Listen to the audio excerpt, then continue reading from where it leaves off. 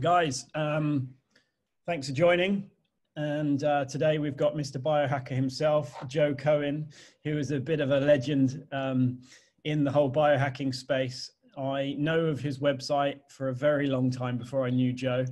And um, it's one of the best resources on the internet along with uh, Dr. Mercola's site as well for me. And every time I Googled just about anything to do with biohacking or any of the cool, crazy things that I was up to, Joe's site would come up, and that was Self Hacked.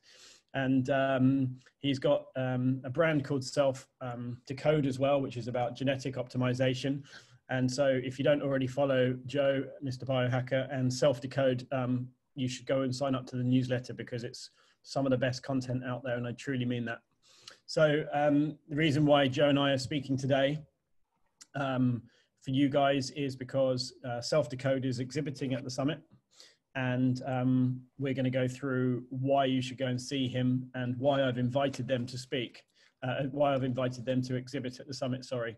Um, because I think it's awesome, and I've been using the platform for quite a while now. So, um, okay, cool. So, yeah. So, Joe, I mean, you've been in biohacking for quite some time. Do you want to quickly give us a skip through history of how it happened? Yeah, so uh, growing up, I basically had a myriad of health issues, and uh, I, you know, I was trying a bunch of different things growing up, like different diets, and I pr- pretty much tried every diet. And uh, finally, uh, at some point, I was my issues were getting worse, and I, I realized I needed to really focus on that. So I was basically doing like biohacking full time for a bit, for a while, and mm-hmm. then uh, you know, and I was reading a lot of literature, and then I, uh, re- you know, I figured out my health issues, and I did that in part through lab tests, genetics, uh, my symptoms, and just reading a lot of different science, and then also experimenting as well. Mm. So I was able to fix all of my health issues, and that was the start of my business career when once my issues were resolved i was able to you know focus on building tools that would not only help me but would also help other people. Mm. yeah and a large part of that has been content based right? Like hugely content based yeah so a lot of it would just be like you know i wanted a site where i could you know type in a topic and get the kind of thorough research, unbiased research that I wanted. Hmm. Uh, then a lot of that also is personalized content with genetics and, and lab tests. I wanted to be able to, you know, uh, upload upload my labs and and see where I need, you know, what's not optimal, what do I need to improve, and then the same with the genetics. What, where are my weaknesses in genetics? And those, um, you know, for the past five years I've been doing that, and and those have been giving me tremendous amount of uh, experiments that have been very fruitful to try. Mm, um, I've been following it obviously and reading the content and following the journey for quite a while. So it was quite good when a, a mutual friend of us put put us in touch. Um, so was, I was a bit of a fanboy, I've got to be honest. when we first hung out, it was quite quite funny. Um, yeah, awesome. So, so, so where are things at now then, um, Joe? Because obviously, Self Hacked was your original site with all the content on it and everything, and then Google came along and penalised anyone that was sharing out proper content. I mean, sorry, sorry, um, uh, questionable content. Um, um, and anyone that's not pharmaceutical based, I think. Um, I'll say that, not you. Uh, but um, so, so where do we find ourselves with Self Decode today? Because obviously that's your another one of your brands, and and the next gen, I guess. Yeah, so it's been uh, progressing by quite a lot, and uh, what we we've done a few things there that have been really cool. We've been uh, we've we've started a personalized health blog, so this way we would talk about a topic uh, we would talk about it, like, for example, let's say if you have gut inflammation. So I've always had gut inflammation, and I want to know, like, where exactly is my, what genes are contributing to my gut inflammation? If we take any given topic, you could have about 50 genes uh, that are important to a topic, let's say. Now, what we do is you can sort that out based on like uh, where your which genes are causing the highest risk and then you can read hmm. instead of reading 50 articles you could read the top 10 articles that are basically telling you about your genetic blueprint and then uh, you know and then dissecting it and showing you here's what is not good about this with relation to gut inflammation. Here's what you can do to improve it. Here's a list of steps. And then we have reports that basically take these recommendations, combine them, and give you a prioritized list based on the top negative uh, genetics. And so this way you could do, you know, you could read the report if you just want the prioritized list, or you can look at, read more thoroughly the personalized post. So I think, you know, if you are having a, a health problem or you want to optimize something, you really want to know what are the top 10 genes that I have a problem with, not in general. What are the hmm. ones that I have a problem with? Mm. And then ba- based on that, you can, uh, you know, you can read that personalized content. You know, within a few, within an hour, you could read 10 posts and you can really get a good idea. Uh, each post is personalized with the genetics, and we're adding lab tests to the personalization. Uh, but you can get a good idea of what are the top things that you need to do to become more optimal. And the same with the lab test that with the lab analyzer, which we add to, added to self decode. So mm. now self decode has its lab analyzer where you upload your labs. Mm. Uh, we automatically upload them, and then we basically just show you here are the labs that you need to work on, and how, here's how you make them optimal. Mm. okay, awesome. So uh, one of the things that strikes me about um, what what you actually have is so it's a platform that um, you can have your genetic data from various other sources. I mean, I uploaded my 23andMe test into your platform. Actually, no, I've done that um, with a couple of friends as well, just to test and look at their personalized reports. And you can download personalized reports based on your genetic variations, which is really quite nice.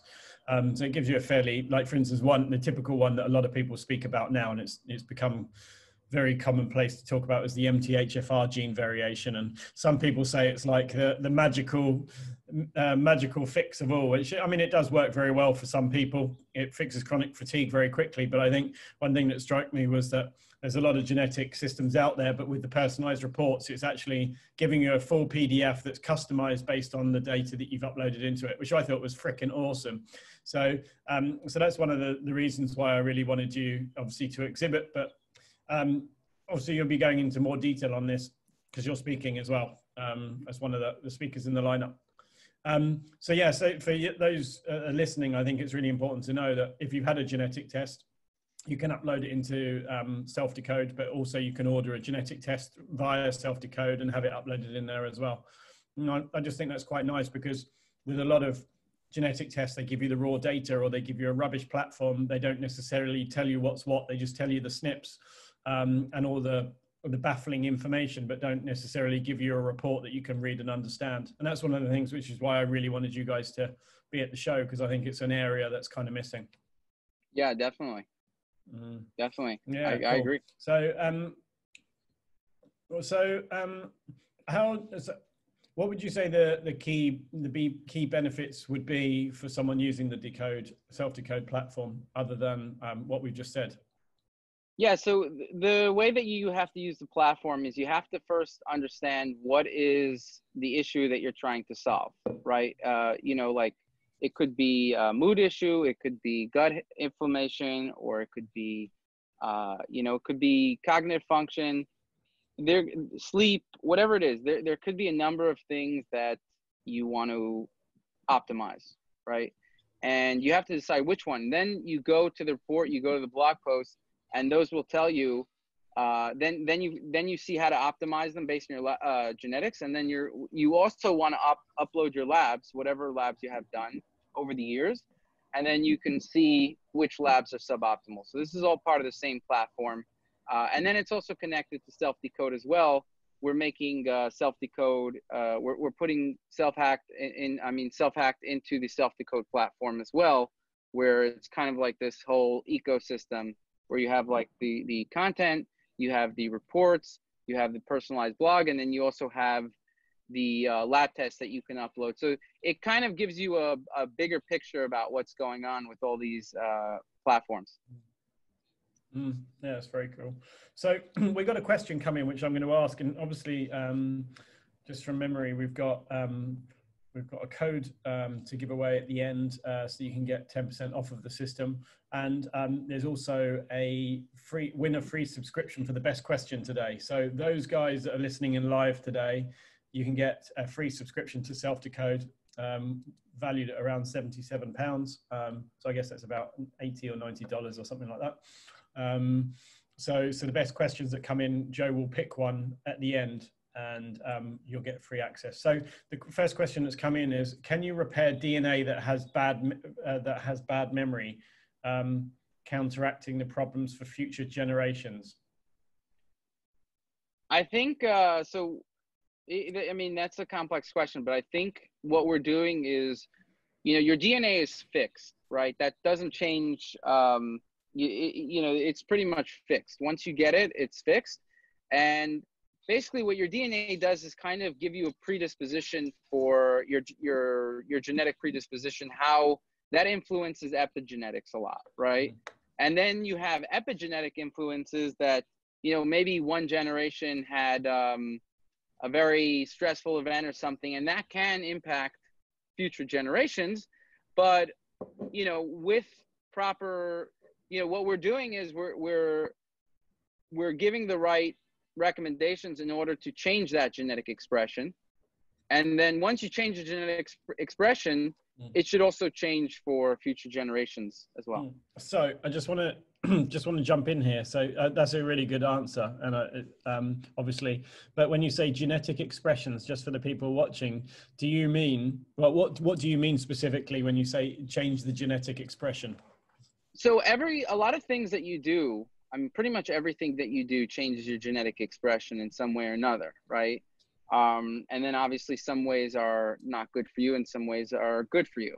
And what we want to do is change the genetic expression for the good, obviously. But for example, like let's say, yeah, any negative behavior that you do, uh, you know, is going to change the uh, function of important genes. It might be expressed less. It might be, you know, wouldn't be amplified as much. Um, whether it's we're talking about fat burning genes, whether we're talking about mood genes, you know, and that's kind of why you see that a lot of issues happen over time also because you know uh, number one is like you know damage can accumulate over time and there's an aging factor of course but there's a lot of things where genetic expression exchange uh, it changes in this area and then another area and then eventually you have this storm of genetic expression now again genetic expression could be a lot of things it, there's uh, there could be, you know, there's different tools that the body uses to do that. Methylation would be one that uh, people know about, but acetylation is also another big one. And that's where you have the SIRT genes. You also have uh, like HDAC is, is a very famous pathway. So basically, let's say butyrate is something that's very good at changing genetic expression, a very broad range. But, but again, each thing kind of changes it in a certain way. And uh, you know, but the it's it's acetylation, methylation. These are kind of the tools, and then a lot of kind of, in, you know, a lot of things that we do change that. For so a very simple one would be, you know, folate will increase methylation, right? Methylfolate. A lot of there's a lot of methyl groups. You can increase methylation that way. Then there's other things that you can do that'll increase acetylation, such as acetylcarnitine, right? And then it's it's it's uh, you know, or just um, uh, yeah, uh, butyrate or increasing SIRT or things like that. So you want to, um, you know, uh, vitamin D is very big, for example, in, so vitamin D impacts 2000 genes. A lot of these kind of genetic pathways, they change the expression and they can impact hundreds of genes after mm, that, mm-hmm. right? So there's kind of like a source mm-hmm. of, of the problem, whereas you have an environmental factor and then you have a genetic, you, ha- you have the DNA variants, the genetics, and then those come together and over time if the storm is is you know if there's too many things that come together in a bad way you could get an issue so just define expression for me. When the gene the the, the a gene is uh, something that uh, increase that you know basically produces a protein and our whole body is made up of proteins. The proteins tell everything what to do and expression is just saying like you know there's increased number of xyz types of proteins that then tell the body to do a bunch of things. Mm. yeah yeah okay so uh, expression in the gene would be if you have an expression i'm doing this for the layman because a lot of people this would be the first way yeah. in for a lot of people watching this so i kind of not dummy guide but you know so beginners through to more advanced um, so you'd say that expression is the uh, I guess a change in the way that the DNA um, operates. I guess. Yeah, exactly. So, you know, you have genes, and these genes, the you have SNPs that basically are kind of like you know the the machinery of the genes mm. and a gene could be uh, over you know a swath of dna mm. and then these SNPs kind of influence the gene and then the gene uh, different things can happen for it. it basically the activity of the gene can go up or down and so that whole pathway can be increased or decreased and depending on what you want to do that's very important right mm. you want to uh, stimulate the pathways that will bring you to optimal health in the thing that you're interested in. So just to just to round off before we move on, a gene expression could be, let's say, methylation. So you have a, an expression of the gene of MT, like for instance with MTHFR, which means the output of, for instance, energy production could be down as a result of you having a, a variation. And therefore, by optimizing it, say for instance, by taking methyl, methylfolate or B12 or whatever, would mean that the gene would be operating at a better rate, meaning that you would have better energy production. Is that what you, would that be a good summary? Yes. Okay, awesome. So I hope, I hope you guys watching this kind of uh, understand, so understand a bit about this because um, Joe is so far down the rabbit hole with this. He explains it like a pro. If you get if you get all this stuff, but if you don't, then um, I don't want you guys to be too baffled and just understand that basically he looks at um, the system looks at your genetic data, tells you what what things might not be going right, and then you look at how to optimize it so that it does work right. And I guess that's that's I guess the basis of it. Um, sorry, go on, Joe. No, so I, I, what I'm what I what I want to say is that everything that you have in your body, everything that you know about biology, like let's say leptin, insulin, if we're talking about weight, or the receptors, those are all proteins that you know operate in a certain way. You can uh, you can increase the expression of those proteins. You can decrease them. There's a whole variety of different things that you can do that essentially change the expression of all these critical uh, pathways, proteins in the body that people know about. Or even like let's say CRP, anything that you could think of has a gene that is producing mm. that uh, that protein in the body. So you know, some people, for example, might have a gene. Uh, every cytokine every inflammatory molecule has a gene that produces it. So like mm-hmm. IL six, some people are just naturally producing more, and then if you overstimulate it by unhealthy behaviors, mm. so then you want to know what are the behaviors that I need to, you know, knock this down if my mm. predisposition for interleukin 6 is higher let's say mm-hmm. yeah, yeah. one thing that um, really interested me uh, that i read in satchin panda's book um, the circadian code was that he said that different obviously different genes turn on at different times of day one thing yeah. that he did say that resonates with me and i speak about it so much is it was like mind-blowing moment though it's so simplistic was that for instance the gene that um, help that makes us produce insulin down regulates in the evening when around sunset time so you can produce up to 50 times less insulin in the evening because the gene is switched off so therefore if you're eating after sunset your blood sugar level will stay high because you're not producing enough insulin to bring it down. Therefore, you'll have higher blood sugar through the night, opposed to having insulin obviously dealing with it. And then as a result, you'll be storing that sugar as fat throughout the night, opposed to resting and recovering and healing the damage that you've done during the day. And that's that's the power of how genes can turn on and off. And that's obviously down to our circadian rhythm, sunlight, and um, and lack of blue light, which is why blue light, such as blue blue phones or like not wearing blue blockers, can actually affect how you sleep and um, so many other factors, including um, insulin, how your body deals with the sugars that you've got going around in you. So, I mean, that's one of the things in genetic, like, it's really interesting for me.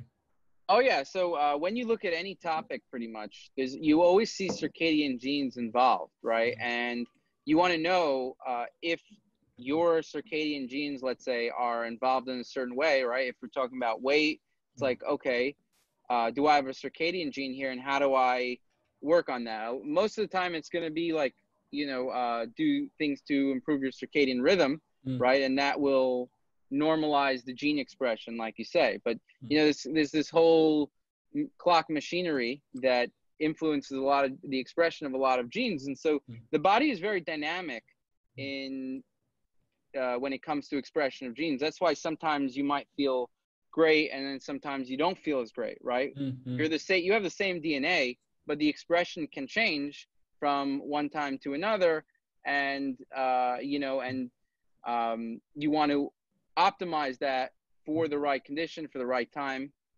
right mm. Yeah, yeah. It's, so there's one other thing I'd just like to touch on again. this is something I was discussing with Dr. Christopher Shade when he was in London uh, last. Actually, was I've noticed that a lot of people that have mercury, a history of mercury, obviously have um, several genetic issues, or it looks like it has that like they have a mutation. The expression is off as a result of having mercury in their body, and I think that's partly down to enz- certain enzymatic um, things that aren't happening as they should do because mercury blocks that. But um, yeah, so it's it's really interesting because I uh, my initial assumption was that by having mercury in you, then that obviously adjusts the gene, but it's just the expression is what Chris says. And it's interesting that a lot of people I've seen along the way that have had mercury poisoning have got it from their mum, for instance, um, have had high levels of it. Chris says that he doesn't think that mercury can be passed from mum to son or daughter in utero, but I've I've seen quite a few people actually with it, and then they've got gene expressions as a result. And when they chelate their mercury, they don't seem to have the same issues that they had before. So one thing that I've actually got lined up is to have another uh, 23andMe test done, or one of the other genetic tests done in the coming year once I've done more mercury chelation to see what uh, see what my results look like. In theory, they shouldn't be any different, but uh, it'd be really interesting to see yeah, I mean, I, I doubt uh, the results would be any. I mean, the result those results won't change because those are fixed. Mm. But um, you brought up a great example of something that can cause gene expression change. So, mm. the what it goes both ways. If you ingest mercury or you're exposed to a lot of mercury, then that will obviously change gene expression. Even a little mercury, right? It'll change a bunch of different areas within gene expression. Uh, mm. but on the other hand, you also have a lot of genes that can naturally if they're if they're working uh, in an optimal way for this right mm-hmm. they uh, they can they can chelate mercury for example you have a lot of glutathione genes mm-hmm. right mm-hmm. and uh, you know and so each of these like some a lot of you know you can have negative variants in one of these glutathione genes and it won't chelate mercury as well and i found that i had a bad pon1 gene mm. and that didn't let me uh, detox toxins enough and so uh, you know, I was, you know, I kind of always felt that I wasn't like when I would have fish or any kind of like uh, plastic based, like, because fish has a lot of plastic based toxins.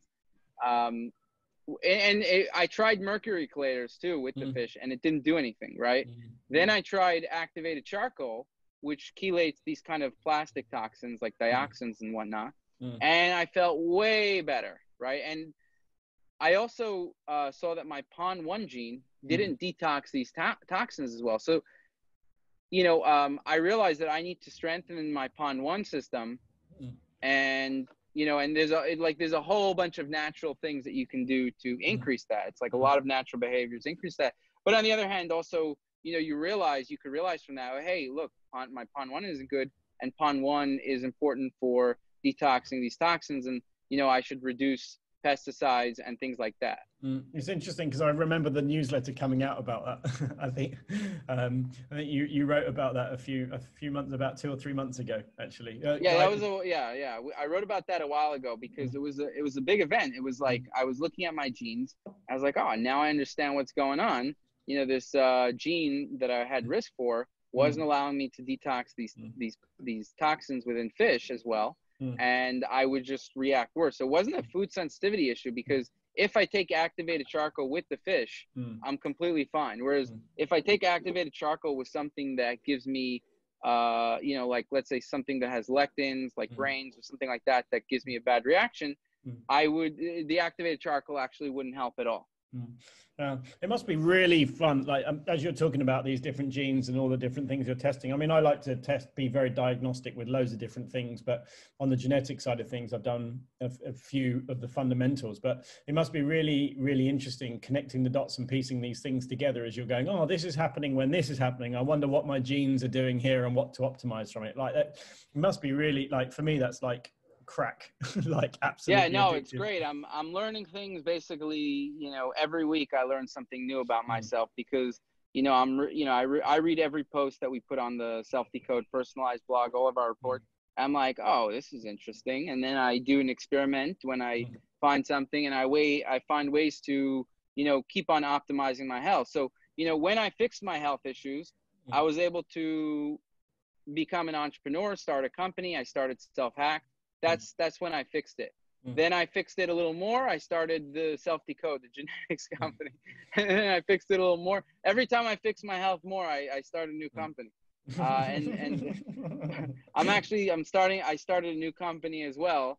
Um, so yeah, I'm up to four right now. But essentially, what I'm doing is I, I'm combining them all into one resource because I think each resource has its own unique things. Like mm. you know, if you just have your genetics, you need to see where you're holding right now, mm. and that's what the labs can do. Mm. The genetics are great in the long run to keep on investing. That's the way I see genetics. It's like you know, you you really have this blueprint of your body and it's telling you all these kinds of things and you need the right tools to be able to read it and when you do that you can you, you start to learn so much about your blueprint and how it's mm. operating and mm. you know uh, this is interesting this now i know you know this kind of makes sense i have these genes and mm. this is what happens when i eat this food or whatever or i mm. do better with this diet and uh, so i'm always uh, learning new things and i'm mm. always like you know just uh, doing research and things like that like I always um I always knew I needed to drink a ton of water. Now water is amazing.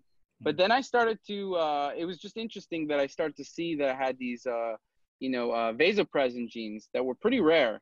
And you know it was just really interesting that and, and water is one of the best ways to actually reduce vasopressin because my gene actually increased it.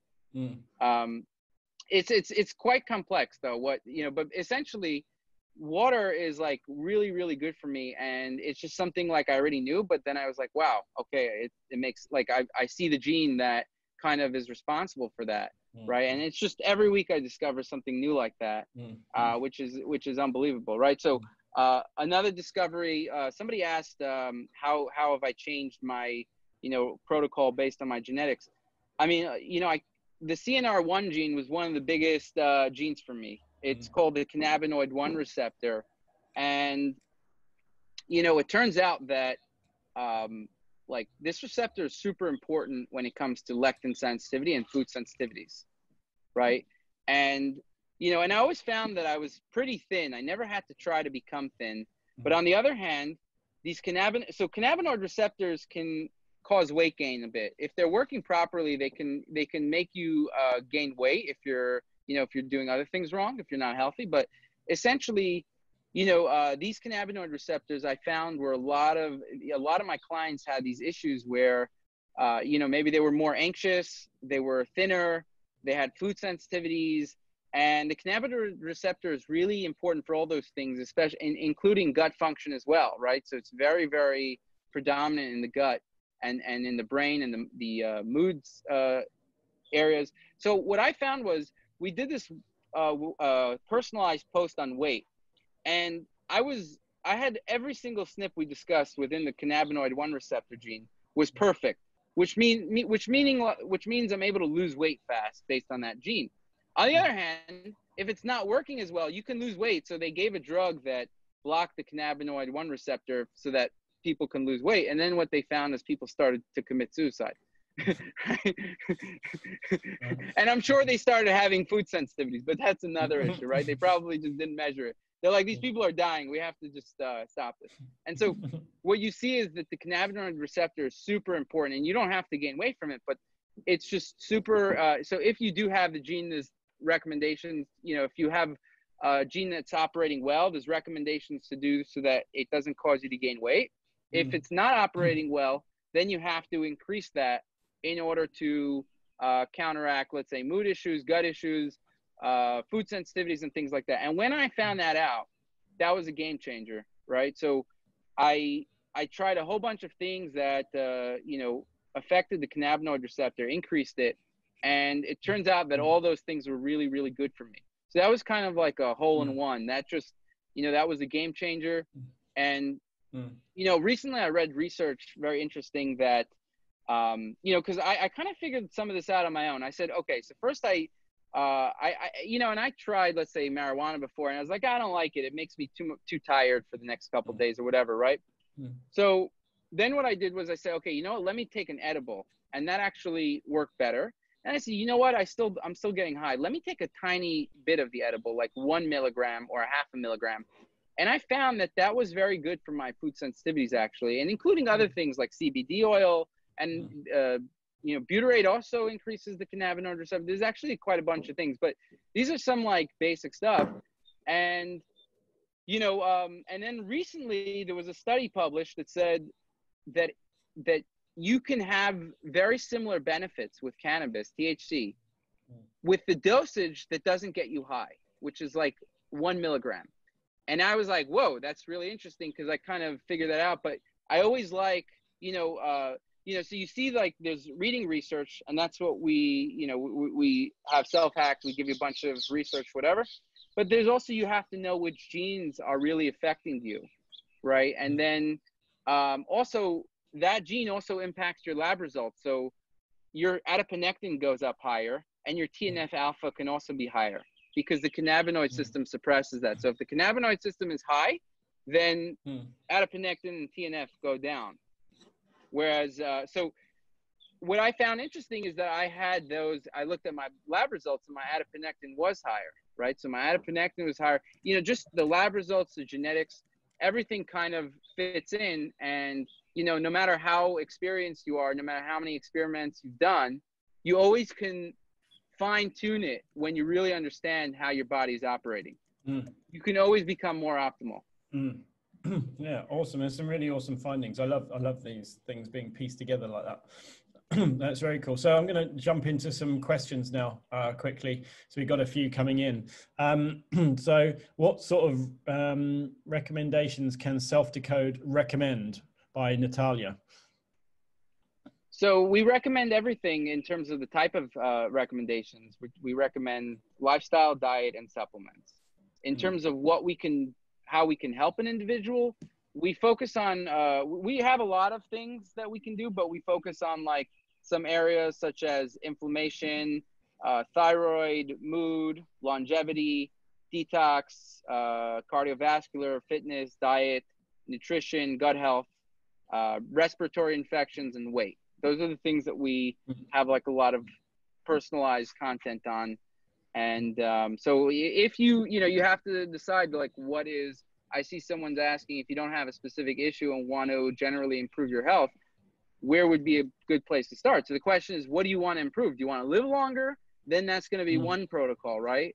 Uh, mm-hmm. You know, uh, and you could try to get like something that does many things, of course, but I'm just saying it's you know, a lot of these healthy things that you'll do are going to improve a lot of things, of course, but you really have to decide like, okay, are you the perfect weight you want to be? Okay. Do you have any kind of mood issues whatsoever? No. Do you have sleep hmm. issues? Do you have, uh, do you want to improve your cognitive function? We have a report for that, right? Hmm. Um, do you want to improve your nutrition? Like you want to see where you need to improve your nutrition, vitamins, minerals. Uh, so the metabolic health, there's there's always uh you know there's always things you might want to improve. And if let's say you really have nothing you want to improve then maybe you want to live longer right? So i would mm. do the longevity stuff. Mm. yeah yeah. So awesome. So joe what does your diet and supplement stack look like? And and how did dna play a role in the diet and supplements by i can't pronounce that right now So uh, one thing I realized, uh, like, okay, so when it comes to the diet, I realized the cannabinoid receptor is really important, and that lectins, uh, you know, if your cannabinoid receptor is not working properly, lectins and food components can really cause a lot of food sensitivity. So I would highly recommend people checking that out mm. on the personalized self decode blog, and some of our reports have it as well.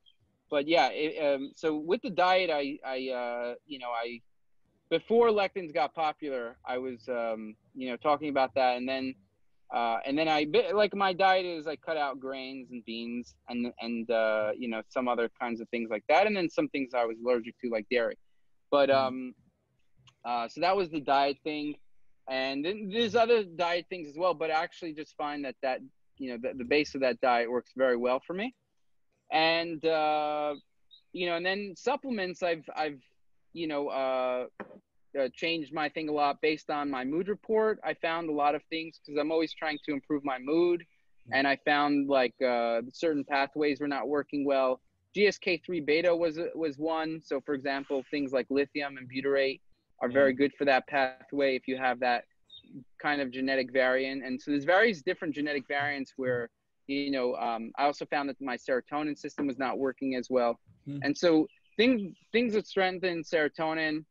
and um, yeah, you know, uh, strengthen serotonin uh, is very important for me. And same with the GSK3 beta mm. and, and, and some other things. But essentially that's kind of like, you know, I, I took a lot, I took those supplements to help me based on my, the mood report and, um, and then gut inflammation too. There was uh, things I did for that as well. You know, like, uh, you know, CBD oil, uh, different kinds of things. Um, but yeah, I'm, for a large part, I have like a, a core base stack that I, I keep to a lot.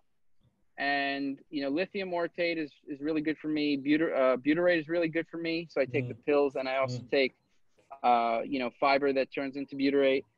Uh, and mm. then, uh, and then I, you know, I'm, uh, curcumin is also really good for a lot of the pathways, like the gut inflammation stuff. So, you know, that ca- came up with a lot of my genes. And so, you know, CBD oil is good.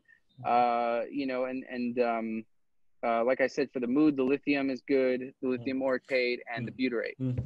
It's funny you touch on some of my favorite supplements. Actually, uh, John Gray first put me onto lithium orotate, um, and um, it's actually really, really interesting uh, supplement, and it helps with the whole methylation side of things as well.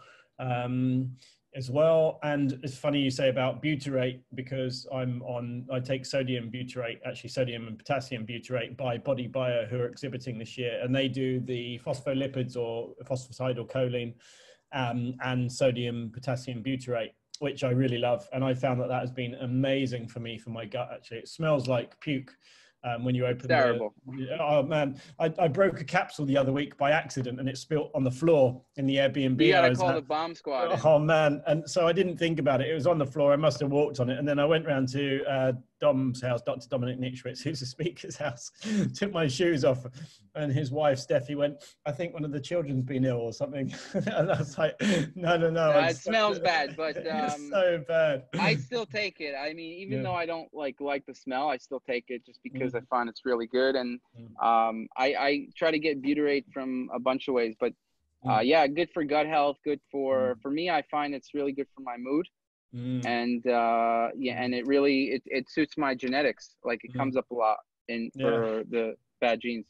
Two solid, two really solid recommendations in general. I mean, uh, especially if it's been tailored based on your genetics. But I found they've worked really well for me. And I think helping obviously your gut if you've had gut issues um, or do have sensitivities, helping um, the bacteria flourish uh, without just chucking more probiotics down your throat is always a winner, especially if you're working yeah. with phosphatidylcholine to get the goodness into the cells as well. I think it's a it's a big win. So yeah, it's really really interesting that you've talked about those two things today. Um, so um, let's just have a look at a couple more questions. I've got them listed here um, before we wrap up, Joe. Um, so um, what's the DNA tests and privacy issues? I think this is a good one, especially with the whole um, privacy side of things going on in the world at the moment. Yeah, so the DNA stuff, um, basically, when a company gets big enough, uh, you know, basically companies start and they have a mission about what how they want to make money. When it comes to the initial companies that started some time ago, uh, like Ancestry, 23andMe, and some other companies, essentially they got in early where they're able to get and they raised a lot of money and they subsidized people's dna in order to get a lot of data to sell it to pharma companies and other places right their whole business model is uh, taking your data and monetizing it uh, based on selling it that's essentially what is happening now mm. when we started the business mm. that was obviously not my goal because first of all, I didn't want that to be my goal, right? So I was against it, of course. But it also was not like there's other players that do that. Even like it's just not uh, something that we would even be able to do if we wanted to do, right? So it's number one is I don't want to do it, uh, and number two is, you know, you basically have to have like two million people's genes in order to even start thinking about it. And even if you had that, 23andMe already has 20 million. Like they'll get people are going to work with them. So smaller companies, it's not going to be an issue about uh, selling like selling your data. It's not only self decoded; mm-hmm. it's other companies as well. But we are more strict about it because uh, it's something I care about.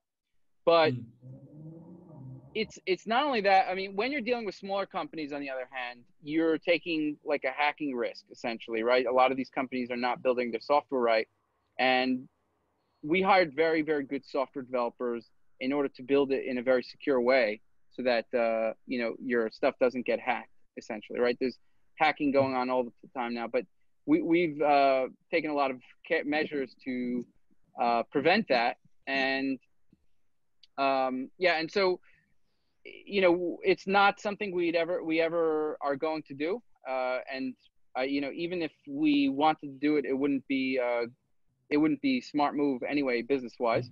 And mm-hmm. uh, you know, we take a lot of caution when it comes to that area. I think I'd like to jump in on this one because I agree with you. A lot of companies start and they go, "How can we sell this later?" Um, and they build it to sell it. There's quite a few companies in this space that have happened, and they've been designed like that. I think in some of the more entrepreneurial mindsets. I mean, Joe, you're you're very successful in the, your companies that you've run anyway. And um, and I think with some of these guys that have come out organically that are in it to to build a company that they love, like me with the summit, I've built it because I love it and I've risked every penny I've ever saved to make it happen. I'm not looking to sell to um, big pharma or something like that. I'm looking to build a community and work with people in the biohacking space to grow it.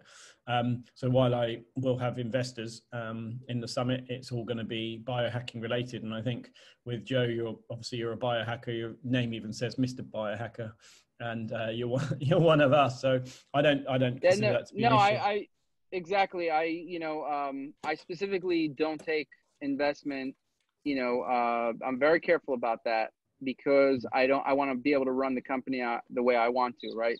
So I don't want it to be like some investor says, "Hey, we need to do this in order to make more money," and I say, "No, I don't want to do that." Right? So mm. um, I like to have control of the, you know, I, I, have control of the company, and I make sure that we're going down an ethical path, and uh, you know, and there's you know, there's a lot of you know the big problem really now is the analysis of the genetics right you you you mm. can get 23andme but they're not giving you any kind of interesting analysis or telling you how to optimize your health Mm-hmm. So that's what we're focused on. I don't, I'm not passionate about uh, taking people's DNA data and selling it. I'm passionate about getting, mm. having the right tools so that we, I can, you know, we can give people the best information about how to fix an issue like I mm. did with myself. And so mm. it's a, it's a passion project also. I'm, you know, I'm, I, I want to use the tool myself and I also want other people to use it. It's, it's a passion mm. project. It's not, you know, to sell data. Yeah, awesome. So, one final question, and um, how does your DNA test compare to the others on the market? So when it so there's um, it's it's the best uh, DNA test kit on the market right now that's checking for SNPs. Uh, there are some whole genome kits on the market. Uh, the ones that are selling whole genome actually are planning on selling your data. Essentially, uh, you know, 23andMe is trying to monetize the SNP kits, the, these uh, the SNP, the ones that have a lot of the, these chips with a lot of SNPs. Mm. Other companies are now trying to monetize your whole genome.